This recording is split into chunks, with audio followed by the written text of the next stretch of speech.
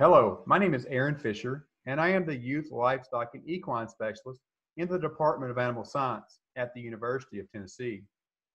And my name is Jessie Shanks. I am the Small Ruminant Specialist in the Department of Animal Science at the University of Tennessee. We are presenting a video study series focused on sheep-related topics for Skillathon. This particular episode will provide a description of nutrients commonly used in formulation and analysis of feeds and forages used in sheep production.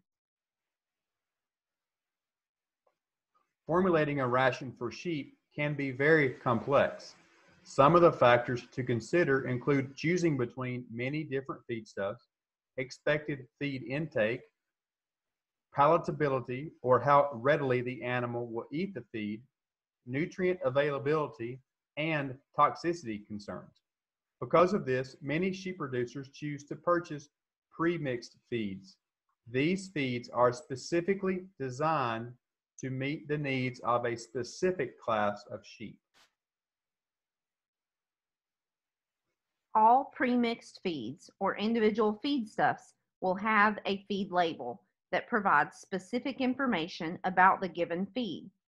The main parts of a feed label include product name and brand name, species and animal class that the feed is designed for, guaranteed analysis, ingredient statement, feeding directions, manufacturer's name and address, and a net weight statement.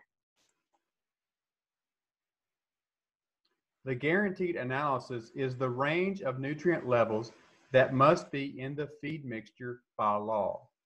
This could be a minimum, maximum, or a minimum and maximum. Most feeds will include in some form nutrient levels for energy, protein, fiber, vitamins, and minerals. We will now go more in depth about these five nu main nutrients. The first is energy. Energy is used by the animal to perform many body functions. Some examples include growth, respiration, and maintaining body temperature. Sheep will consume energy in two forms, as carbohydrates and as fat. It is important to note that fat provides 2.25 times more energy than carbohydrates energy is commonly reported as total digestible nutrients or TDN. Protein is another important nutrient that is a major part of most tissues in the body. It is involved in digestion, growth, promotion, immune response, as well as many other body functions. The building blocks of protein are amino acids. Although protein is made up of amino acids, sheep rations are typically formulated for protein instead of specific amino acids. This is due to the ability of the rumen microorganisms to create microbial protein that is used by the animal. With respect to formulating and reporting on feed mixes, protein is commonly referred to as crude protein or CP. Crude protein is an estimate based on the amount of nitrogen present in the feed. Fiber is the roughage or bulk part of the diet that passes through the body, largely undigested by the animal. When talking about forages, fiber is inversely related to forage quality, meaning that the higher the quality of the forage, the less fiber that is present. Fiber is generally classified as acid detergent fiber, or ADF, and neutral detergent fiber, or NDF. Acid detergent fiber is an estimation of cellulose and lignin content. Neutral detergent fiber is an estimation of cell wall content. Fiber is commonly reported as crude fiber, or CF, on most feed labels and nutrient analyses. Generally, feeds and forages with a higher crude fiber have a lower overall nutrient content. Vitamins are organic substances that are essential for body tissue but are needed in very small amounts.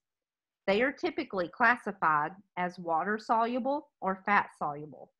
Water soluble vitamins include all of the B vitamins and vitamin C. Fat soluble vitamins include vitamins A, D, E, and K. Vitamins are generally not of concern when formulating sheep diets due to the microbial vitamins produced during ruminal fermentation by microorganisms. Minerals are inorganic substances that are essential for many body processes. Minerals are generally classified into micro minerals or macro minerals. Examples of micro minerals, also called trace minerals, include copper, iron, selenium, and zinc. These minerals are needed in relatively small amounts by the animal. Examples of macro minerals, also called major minerals, include calcium, phosphorus, sodium, chlorine, and magnesium. These minerals are needed in relatively large amounts by the animal. Calcium and phosphorus are two minerals that are most often included on most feed labels. Most sheep are provided a mineral mixture during most of their life. It is important to monitor mineral levels and ratios as deficiencies and imbalances can occur depending on the feed or forage that is provided to the animal. For example, it is known that excess sulfur in a feed or forage can make copper and zinc and other trace minerals less available to the animal. One important note about copper levels commonly fed to beef cattle will kill sheep. Thus, if you have cattle and sheep on your farm, you should keep sheep away from the cattle mineral. Additionally, the calcium to phosphorus ratio needs to be kept at approximately 2 to 1 in most feed mixtures. One last important nutrient that is not included on a feed label is water.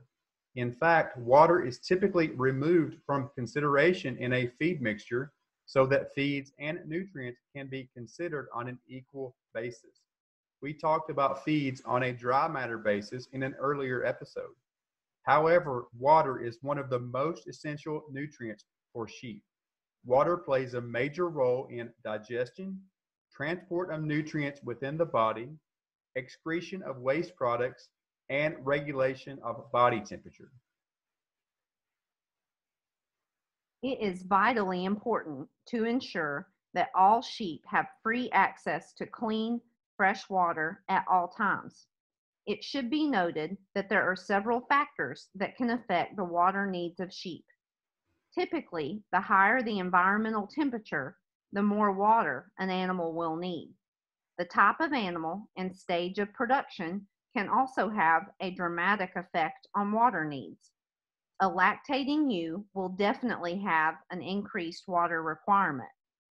Heavier animals also require more water. Finally, water content of feeds and forages can affect water needs. There are some feeds like silage and haylage that have more water in them than others. That wraps up our discussion of nutrients for sheep production. Please understand that we just briefly described these nutrients and how they are needed by sheep. We wish you the best of luck as you progress through your sheep project. Please let us know if we can ever be of assistance. Thank you and have a great day.